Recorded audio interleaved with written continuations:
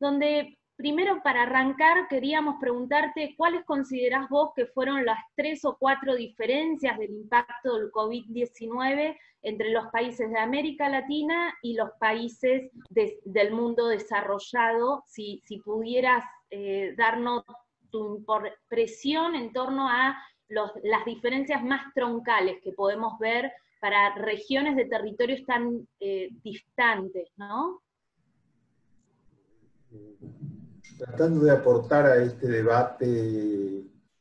vital para el futuro del género humano y lleno de mitos y de falacias y de,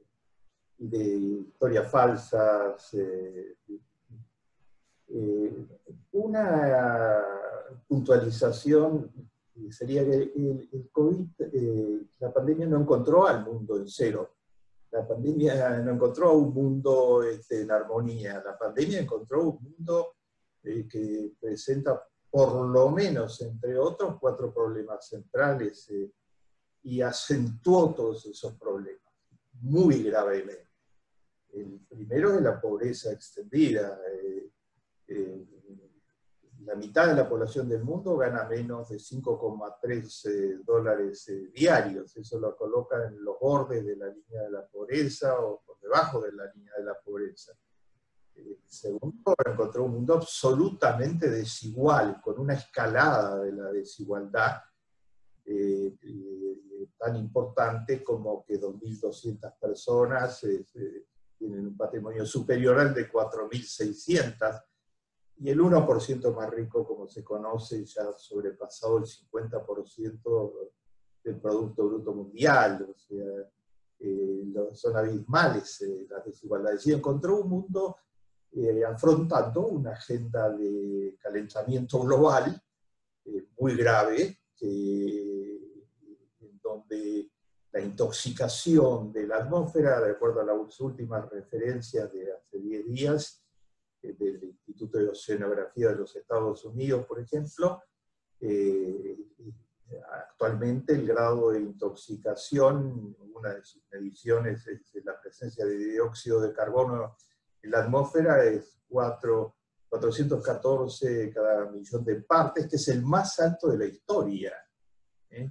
Eh, y los registros siguen subiendo. Y esto significa, el cambio climático significa gravísimas eh, consecuencias, como lo sabemos, el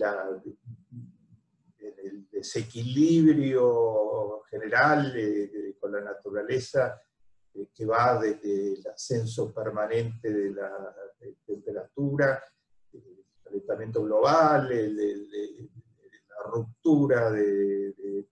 de equilibrios construidos durante siglos, el ascenso de las aguas de los mares, el calentamiento de los mares, la intensificación como consecuencia de los huracanes, de las inundaciones, por el otro lado la desertificación, las sequías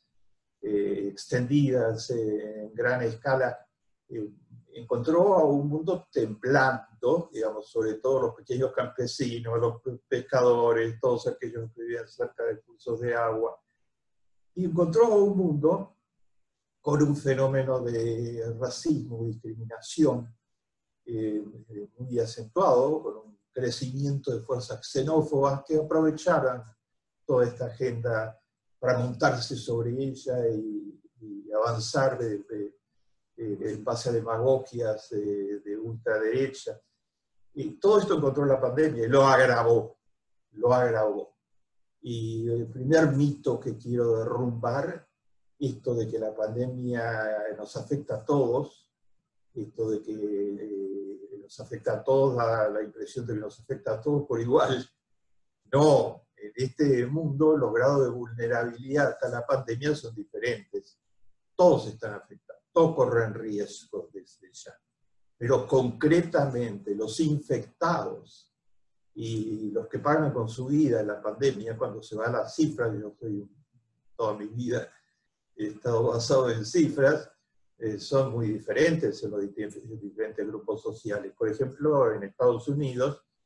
eh, mientras que la población negra representa el 13% de la población total de Estados Unidos, representa